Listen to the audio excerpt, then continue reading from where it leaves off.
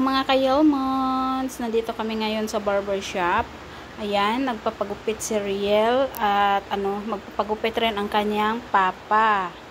Ayan, kasi mahaba na yung hair ni Riel kaya kailangan na niya siyang gupitan. Ayan, katatapos lang niya ano mag-uwi galing sa school tapos nagpahinga lang kami ng kunti tapos pumunta kami dito sa barber shop. Ayan, kasi gusto niyang mag-Jollibee. Ayan, ang bait ngayon ni Riel, oh. Ayan, tingnan nyo guys. Hindi na siya nag, ano, oh. Last time, tinutulungan pa yan ng papa niya kasi ano, malikot siya. Ngayon, oh, tingnan nyo, behave siya guys. Sa kanyang pagpagupit. Ayan, meron ding nagpapalinis ng kuko. Ayan. At ito na guys, nandito na kami sa Jollibee. Ayan, iniwan namin doon ang aming papa sa, par sa barber shop. Kasi gustong gusto na ni Riel pumunta sa Jollibee. Sa harap lang kasi ito guys ng barber shop. Kaya iniwan muna namin ang aming papa doon.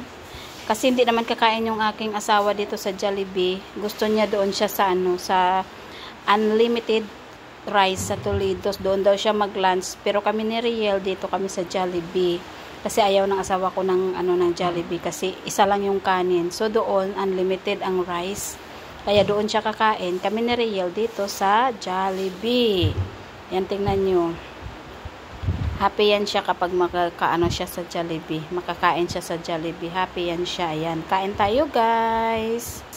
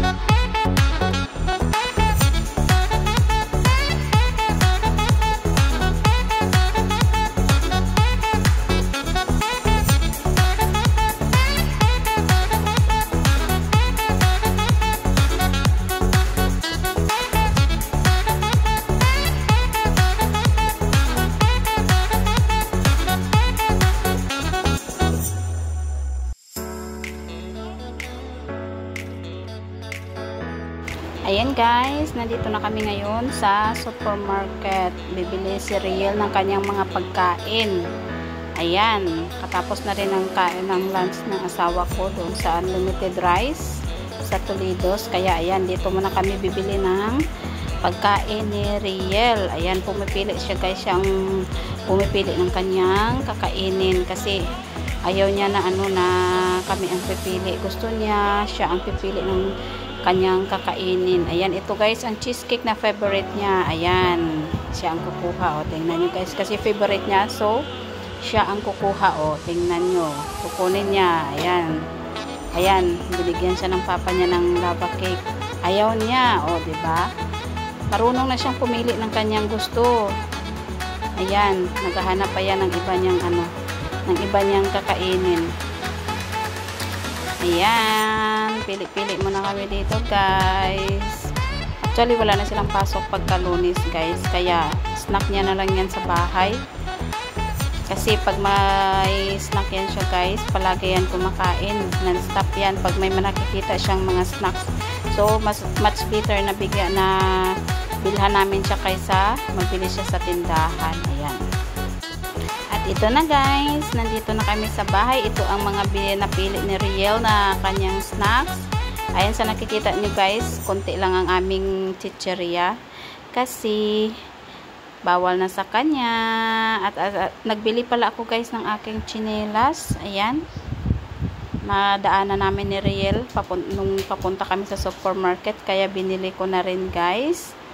Ayan. At ito guys, after naming magpahinga galing sa ba, ano sa supermarket, nagpunta kami doon sa tagalinis ng ano namin ng kuko. Ayan, nagpalinis ako guys kasi medyo ano na one month na hindi nalinisan yung kuko ko. Kaya ayan, nagpalinis kami ng asawa ko. Ayan, blow na naman ang aking naga ano na piling nail polish guys. Ang ganda pala ng ano ng blue guys. O tingnan nyo, 'di ba? Ang ganda pala ng blue na nail polish. Ayan guys, thank you so much for watching. But if bago ka pa lang sa aking channel, please don't forget to like, subscribe, at pindutin nyo na rin ang notification bell para updated kayo palagi sa aking video na ina-upload. Bye-bye everyone! See you on my next video! Bye-bye!